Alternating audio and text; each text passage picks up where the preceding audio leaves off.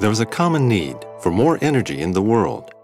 Climate change, high oil prices, and national energy security considerations are the drivers for sustainable fuels, such as bioethanol.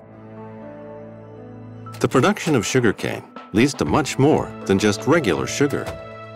After the harvest, this versatile plant is making a real difference in modern fuel production. It is important to enhance production efficiency as the need for bioethanol grows. For example, almost half of all fuel used in Brazilian cars is bioethanol. Improved technologies lead to reduced production costs and increased capacities. We developed tailor-made chemical concepts for bioethanol production processes to enhance the efficiency. One of the biggest challenges in bioethanol production is how to control the contamination in the process, which leads to a remarkable waste of sugar ethanol. Tailor-made chemical concepts prevent this from happening without antibiotics. Successful control ensures smooth and efficient runnability.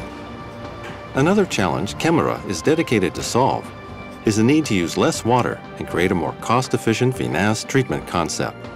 The ideal solution is to develop a closed loop where the water can be reused. It is important to enhance production efficiency as the need for bioethanol grows.